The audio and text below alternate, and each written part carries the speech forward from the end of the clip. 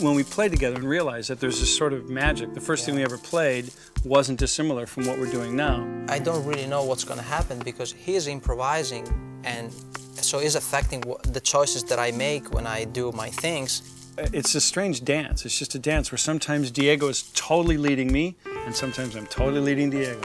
I play the tree and the tree can make these sounds that are not tonal. They don't sound like a violin or anything that is a classic instrument. You have to let yourself be inspired by these sounds that sometimes are like monkeys or birds.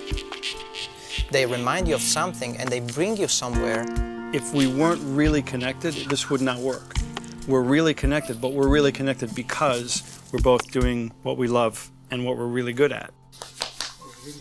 Can anybody hear what we're doing?